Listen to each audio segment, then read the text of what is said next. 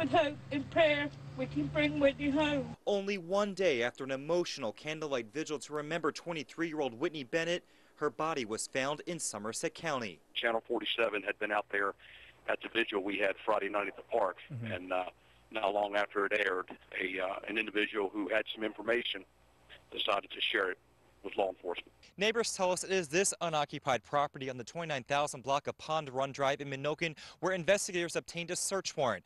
And on Saturday, they found Bennett's body buried somewhere in this wooded area. State police arrested two men Saturday night in connection with Bennett's disappearance.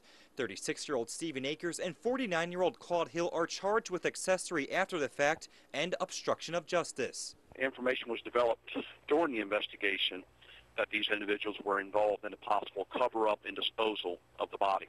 The mother of three was last seen alive in the Fruitland area on December 4th. Sheriff Mike Lewis says they always hold out hope for the best, but the pieces to this puzzle told a different story. Based on the information gleaned in the last several weeks the investigation, uh, we were reasonably certain uh, that she uh, she was dead. Lewis says no one has been charged with her death, but more arrests are likely.